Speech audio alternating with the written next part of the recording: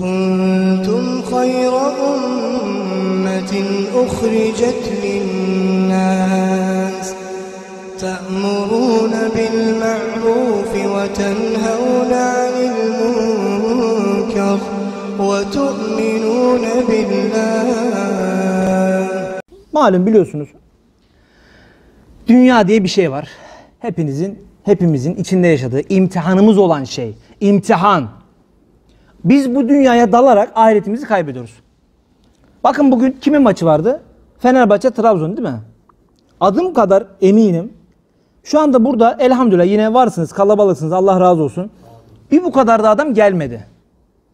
Bak bir bu kadar da adam gelmedi. Niye? Maç var kardeşim diyor. Fenerbahçe Trabzon'un maçı var diyor. İşte Trabzon seneler sonra şampiyon olacak. Tamam. Tamam diyorum kardeşim eyvallah. Şimdi biz bunları konuşuyoruz ya. Ya diyor sen de diyor kardeşim diyor.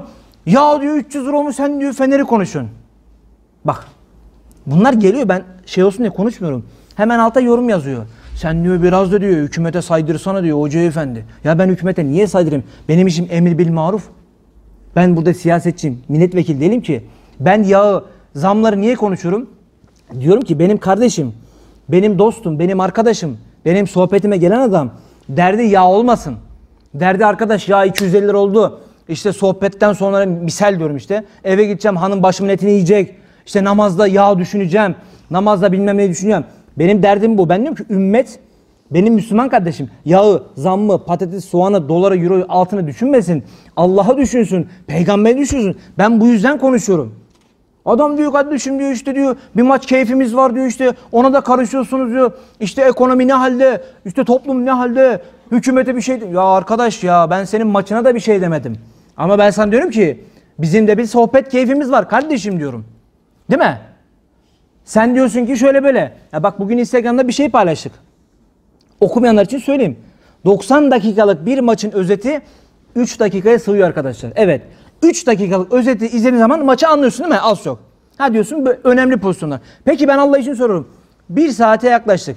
Bir saattir konuşuyorum. Bu sohbeti 3 dakikaya sığdırabilir misiniz? Allah için soruyorum ya. 40 tane mesele konuştuk. E nasıl sığdıracaksın? Ama ya maç var bir işte Trabzon diyor şampiyon olacak. Sen diyor bırak diyor hoca diyor bu işleri bırak diyor. Gelelim yağlara. Hadi bakalım ya. Bizim millet bugün ya bizim millet kadar acayip millet yok ya. Konuşunca da yine suçlu biz oluruz.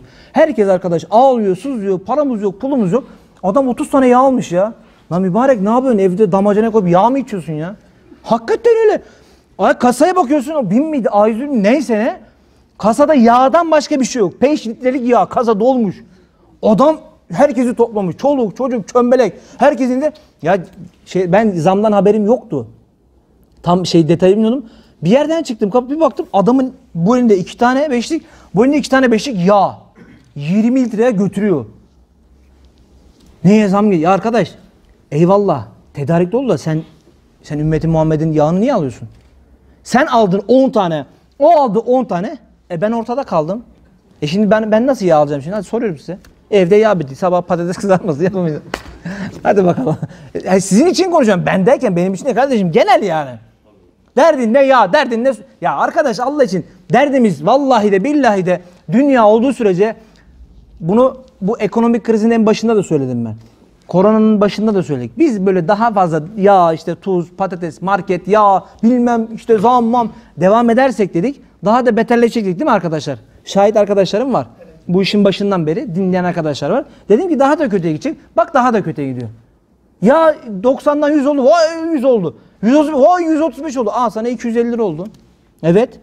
İnternet sitelerinde şu anda yağ yok. O getir.com'muş, yemek sepetiymiş, bilmem neymiş. Yağ yok. 5 litrelik yağ yok. Yok arkadaş. 18 litrelik yağ kaç para olmuş? 1,5 milyar kaç para lan? 1000 lira mı neyse. O, ne taksitle mi? Oo. 36 ay taksitle yağ. Hemen çıkışta yağacağız arkadaşlar. Vay arkadaş işe bak ya. Ya büyük rezillik. İşte mevzu ne biliyor musunuz? Biz maç, top, işte bilmem ne, gezme, tozma, para, dolar, euro dedikçe dedikçe dedikçe kimse kusura bakmasın. Kim? Ayetle kardeşim ayet bak 500 defa okuduk ama kafalara girmiyor ya. Ya ellerinizle işlediğiniz günahlar sebebiyle estaizu billah bismillah ve ma asabekum min musibetin fe bima kesebet eydikum ve yarfan kesir. E, ellerinizle işlediğiniz günahlar sebebiyle dur. Ne gelirse bak. Başınıza ne gelirse ayet ne gelirse ne ne ne demek? Geniş bir kavram. Genel. Ne gelirse. Ha, su geldi, o geldi, bu geldi. Bak hepsi ne? Neyin içine giriyor?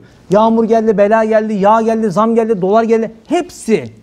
Ne gelirse ellerinizle işlediğiniz günahlar sebebiyle başka bir şey aramayın. Biz toptan tövbe edip dönüş yapmadığımız sürece daha da beterleşecek. En son ne kaldı? Taş yağması kaldı. Hadislerden, kaynaklardan konuşarak söylüyorum. Bütün alametler, bütün musibetler çıktı. Tek bir şey kaldı taş yağması. Yakındır. Hadiste söyledik. Cebrail aleyhisselam Efendimiz Aleyhisselatü Vesselam'la beraber gökyüzünde semalarda geziyor. Dedi ki Muhammed Mustafa Aleyhisselatü Vesselam dedi ki ey Cibril bu taşlar ne? Dedi ki onlar Lut kavmine atılan taşlar. Lut kavmine. Lut kavmi ne yaptı? Erkek erkeğe kadın kadına. Değil mi? Ahir zamanda o taşlar senin dedi ümmetinin başına atılacak. Hadis. Peki şu anda Lut kavminin yaptıklarını 100 katı sadece İstanbul'da olmuyor mu? Sadece Taksim'de İstiklal Caddesi'nde olmuyor mu? Oluyor. Hadi bakalım. Taşlar gökyüzünde arkadaşlar. Bekliyor. Tövbe etmezsek, helalleşmezsek, helalleşme. Unutmayın. Şunu da bitiriyorum. İlk defa duyan kardeşler için Salih Aleyhisselam'ın kavmi. Yunus Aleyhisselam'ın kavmi. Yunus Aleyhisselam kavmini terk etti. Belayı görünce kara bulutlar geliyor arkadaşlar. Kara kara bulutlar belli yani içinde yağmur yok. Ateş mi var, azap mı var, yılan mı var, çıyan var geliyor bir şey. Dediler ne yapalım? Dediler tövbe edelim, helalleşelim. Bak tövbe edelim, helalleşelim bak.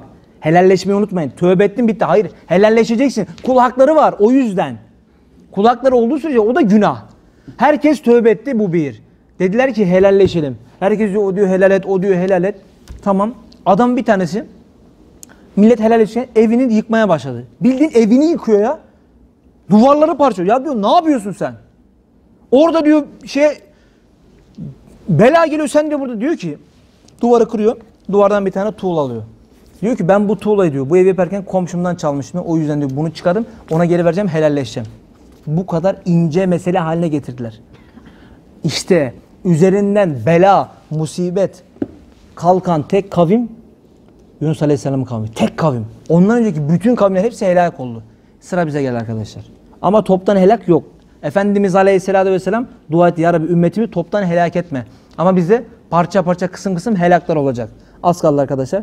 Gün geçtikçe oraya doğru gidiyoruz. Rabbim Celle Celle hepimizi affetsin. Amin. Hakkınızı helal edin.